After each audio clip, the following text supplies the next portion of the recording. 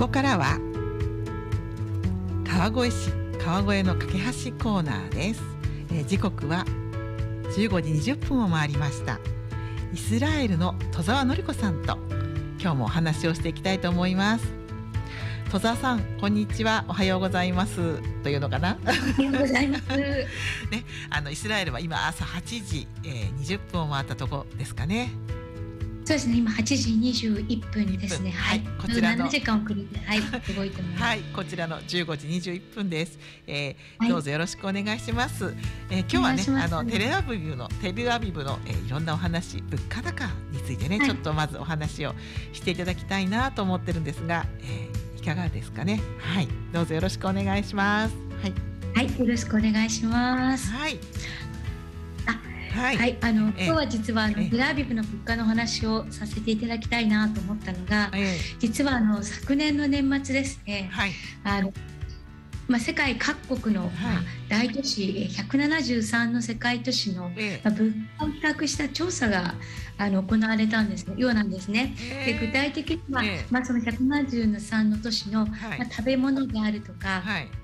あ家賃であるとか、はい。ガソリンであるとか、まあ、はい、どこの都市番暮らしやすいのかというところで、はい、あのあ行われた調査で、はい、まあ、この調査で、まあ、輝かしいことというかとても悲しいことに、はい、まあ、このテルアビブが、はい、まあ、世界で一番物価が高い都市というふうにえ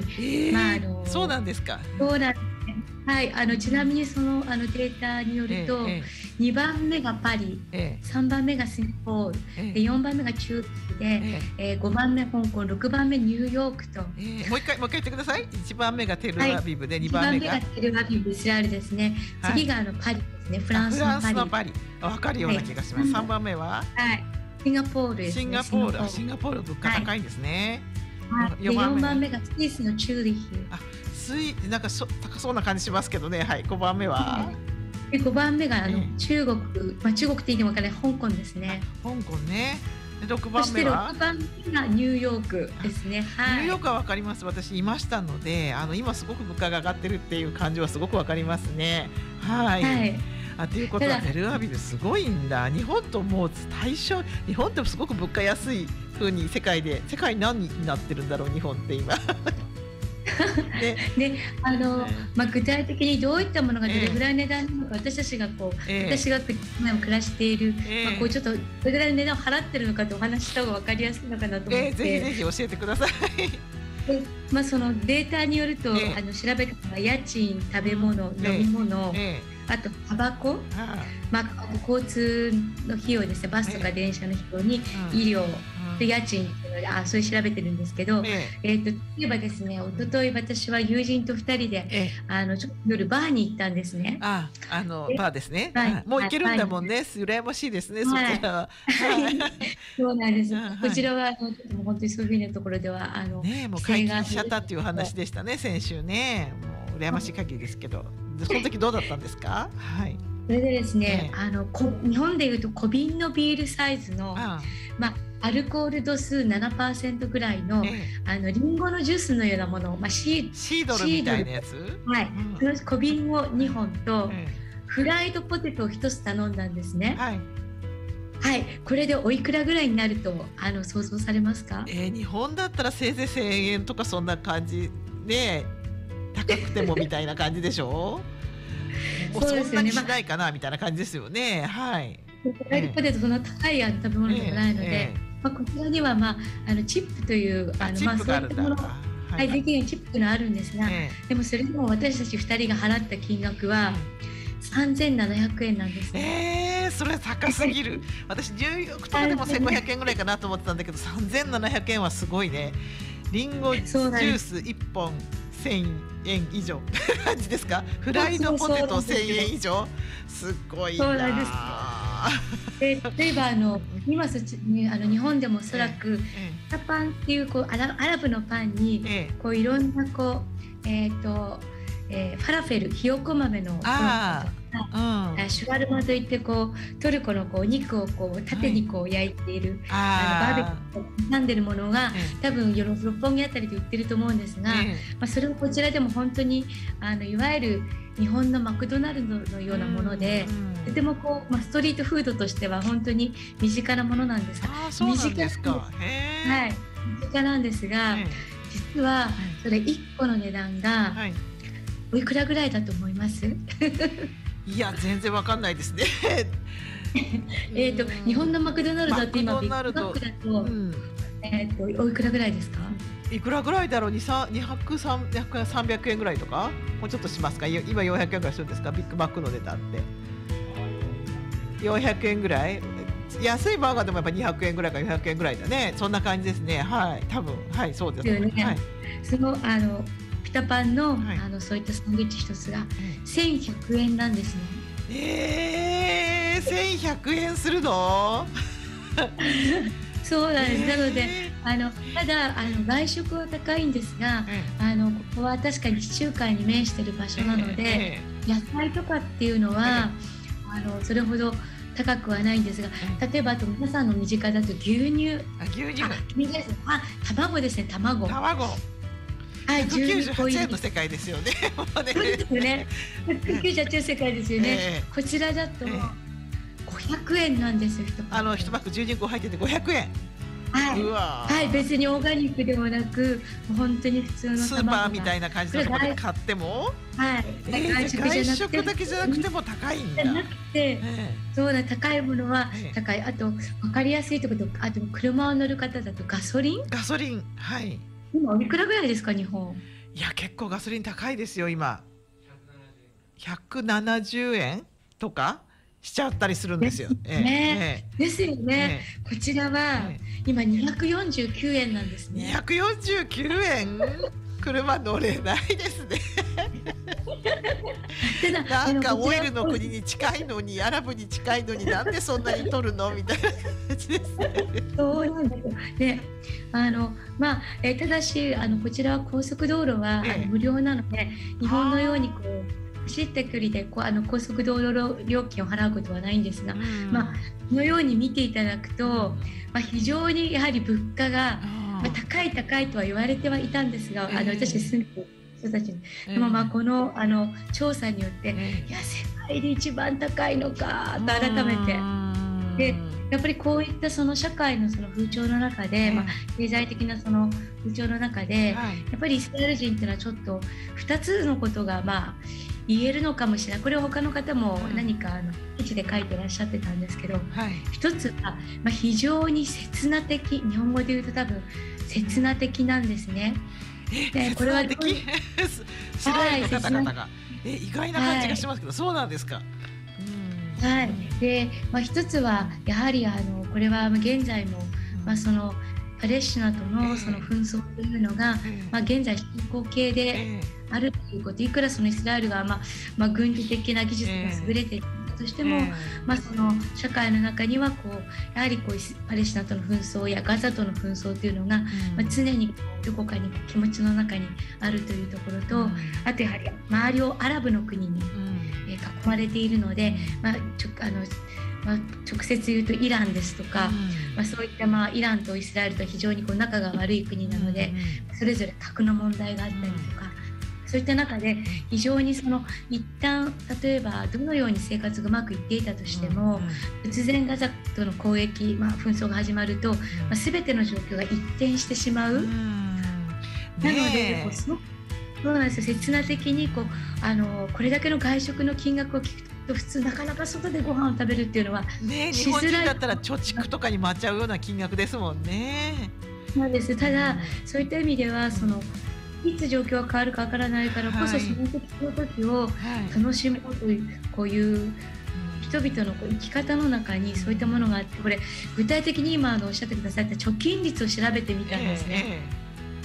えー、で日本が今貯金率、うん。まあ、34%なんですよ。ああ、そうかもしれない。そうですそうなんですね。まあ、まあ、年齢とあとあのお子さんがいる家庭とかも、え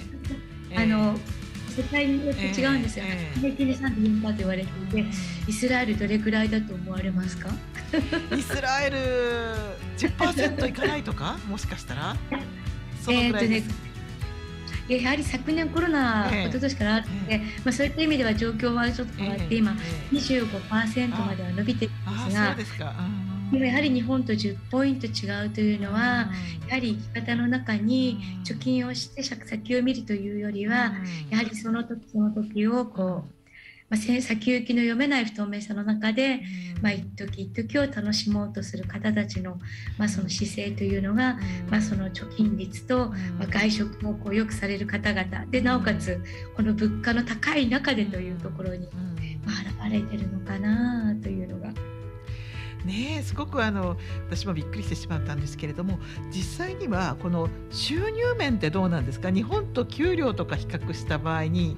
日本人よりも給料の平均っていうのは高いのかしら？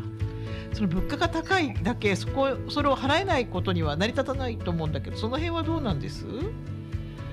えーとですね、あの実はとてもあの OECD という、えー、あの組織があって、はい、まあ、そこの、えーと、ここ何年かのデータです。と、イスラエルのあの貧困率というのも、えー、あの高い国の大体 one, two, three のどこかにいつもいる国なんですか。なので非常にあの経済格差が大きい国。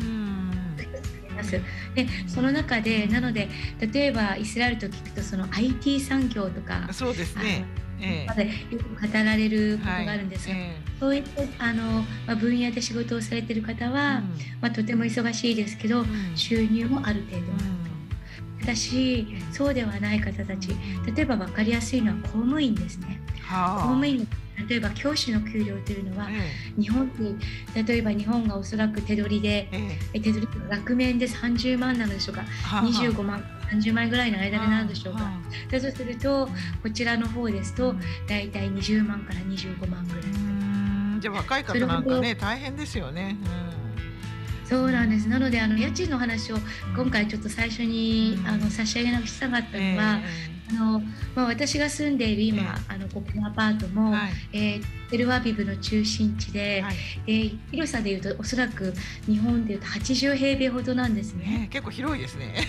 はい、はい、はい、で3人で実はあのシェアをして、はい、暮らしていて、まあ、大体、えーと、家賃でいうと24万ぐらい。24万。まあ、結構かかりますね。うん。ただしここで問題なのがじゃあ築何年なのかこの家が。何年100年なんですね実は。えー、いうか建物しっかりしてるんですか？その耐震とか。あ地震がないか？考えてみたら。そうなんですよ。なん、なんですね。ただし、あのここで一つあのポイントとしてあるのは、うん、80平米でまあ中心、だけど100年の建物、うん、というとやはり日本と一概に比べられないなと要するに、日本というのはまあ都心で、まあ、一人暮らしで、まあ、10万前後の家賃を払ってらっしゃっても、もし新築でいらっしゃったりすると、まあ、あと設備も違うので、はい、これを家賃の広さで一概にこう比較してお話しすることができないのということで、ちょっと家賃の話しなかった、まあ、あえて食べ物というとてもこう身近なものの方で。まあ、そういった意味でやはりあの独身で、まあ、新しくお仕事を始めて一人暮らしっていうのは大変厳しい場所だそうですね。あの日本は今シェアハウスとかそういうのが流行ってきていて、若い人たちが こうグループで住んだりしてるあのそういった形も結構流行ってるんですがそちらはどうなんですか？もうこちらはほぼそういう形ですね。独身の方一人で住んでる方もいらっしゃいますけどやはり、うん、あのシェアで私のようにこう暮らした暮らしてる方の方が多いですね、むしろ。まあ、あの割とね一人でこうやっていく力がすごい強い民族だなって思うんだけどシェアっていう感覚には慣れてらっしゃるんですかね？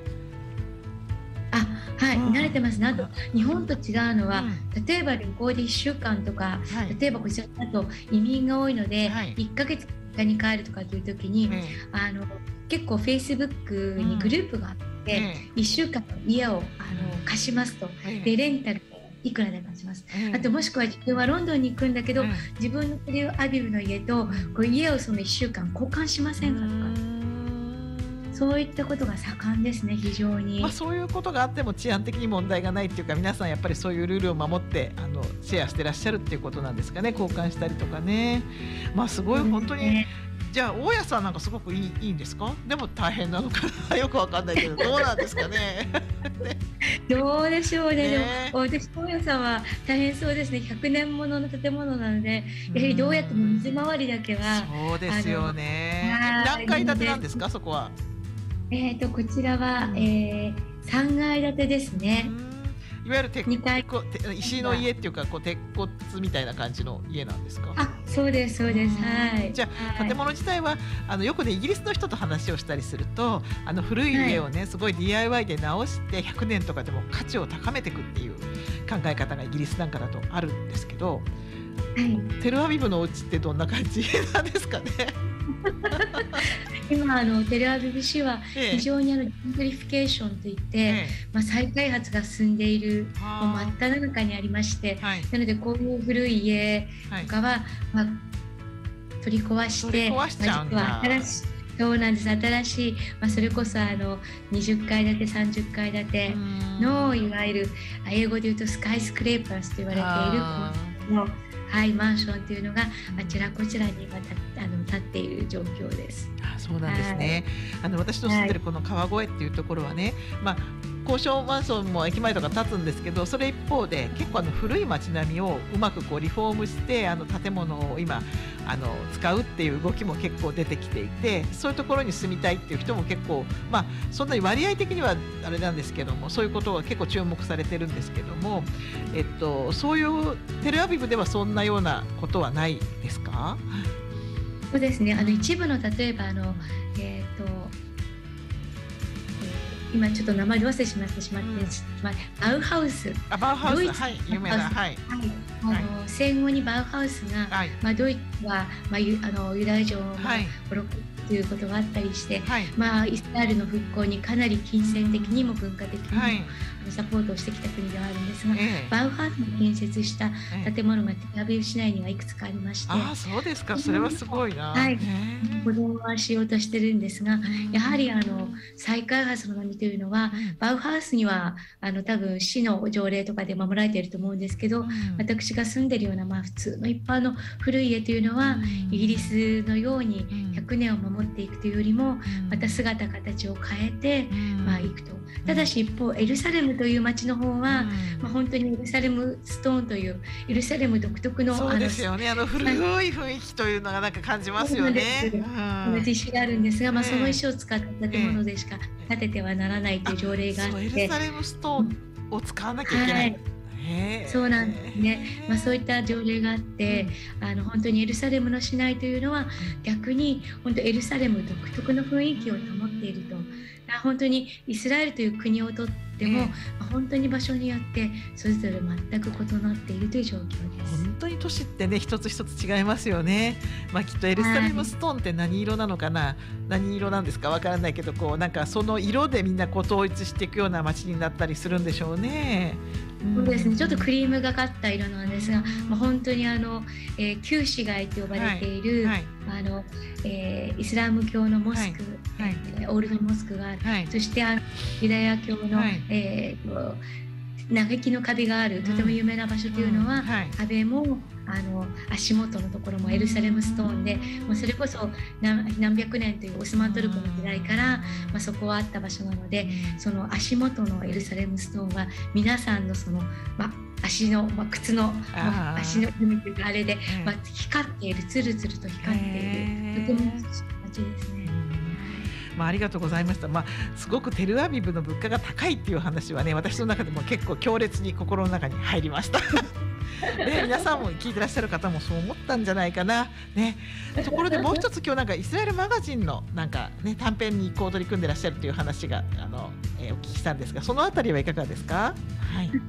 はい、あの実は、はい、えー、今月の15日から毎月、あの15日にイスラエルウェブマガジンというところで、はい、えーと、私たちあの小さなあの、まあ、大体 A41 枚ぐらい A41 枚に書いている、はい、まあ、イスラエルに見せる日常というものを、あの連載で発表しております。うん、で2月15日にあの上がったばかりの作品がありまして、うん、まあ、イスラエルであの暮らしている私の、まあえー、ばあの相棒の井川が、うん、そのまあ、いとこが成長していく中で彼が感じた、うん、まあ、ちょっとその寂しいけど、うん、あのいとこの成長を喜ぶ気持ちというのを、イスラエルのあの美しい砂漠の、まえー、都市と、あとあの器物の中を描きながら、あの描いた小さな作品を掲載しているので、もしよかったらぜひご覧になってみてください。そうですね。砂漠どどこですか？この町って。どこなんです？えっ、とですね、砂漠えっ、とイスラエルの南部にあるえっ、と今名前をど忘れしてしまった大丈夫です。が、えー、すみません、えー、なんですね、わかりました。すみません、今ちょっとど忘れしまって恐縮です。もう怒られてしまいますが、えっ、と。ミシュナではなく、そこはあの実はイスラエル人が作った遺跡ではなくて、イスラエル人ではない古代の人が作った遺跡の場所で、まあ、本当に行くと砂漠のど真ん中で、私たちもあの、えーと、撮影のために一回訪れてはいるんですが、えーと、とても何て言うんでしょうあの昔古代の人たちが作った祭壇があったりですとか、もう本当にあの今クラブの話をしている街からは想像がつかない、もうあの古代の時代をあの肌で感じ取れる砂漠のえメンフィスという名前でもあるんですがあの実際エルサレムではメンフィスとはあまり呼ばれないので、あの後であの連載の方に正式な名前が出てると思うんですけどそれとキブツですね。キブツはちょっとお名前はごめんなさい個人の住んでいらっしゃる場所なので、ちょっと名前申し上げられないんですが、あの南部にある緑豊かな器物を、あの描いています。はい、器物についてもちょっと皆さんに説明してもらってもいいですか？あはい、はい、えっ、ー、とキビツはですね、はい、あのイスラエルが建国をし、まあ、する以前からなんですが、はい、まあイスラエル建国をしたのがいわゆるそのロシアえーと、ソ連になる前のロシアに暮らしていた、まあ、ユダヤ人たちが、まあ、移住して、まあ、こちらの現地のパレスチナ人と、まあ、い。ろんなこうやり取り闘争の中で、まあ、作ってきた場所ではあるんですが、まあ、その中で、そのロシえー、ソ連になっていくその社会主義に彼らが、まあ、ソ連がに移行していく中で、彼らがそのやはりユダヤ人もイスラエルパレスチナの地に移動しながらも、い、わゆる集団農場で自分たちの生活を共にしながら、あの、まあ、生活を共同でしていくという、はい、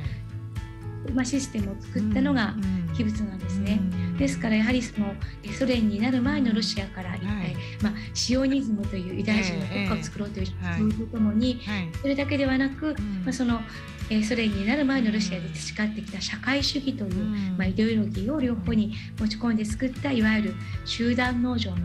場所になります。